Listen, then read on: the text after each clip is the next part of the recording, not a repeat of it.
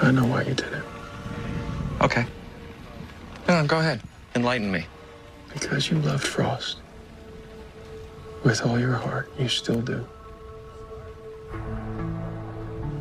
Sometimes when we love someone like that, we do the wrong things.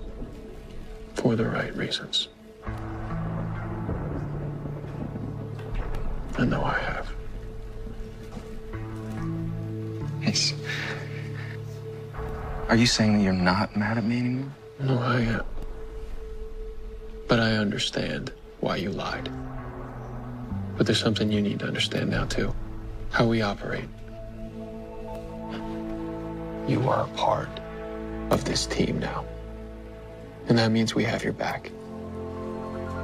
But you need to have ours. Which also means no more going rogue.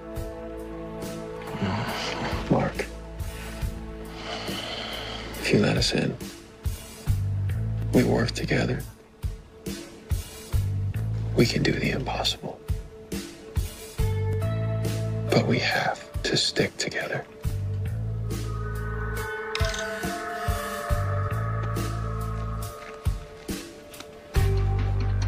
We have to go right now. Go where? Right now. Where?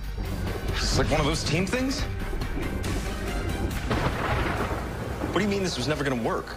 I ran a full diagnostic on the CRC trying to figure out what went wrong. And what I found was neural DNA could never unlock Frost's consciousness.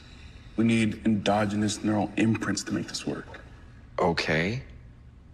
But you're talking about a literal map of Caitlin's mind. Where are we gonna find something like that? Thomas Snow.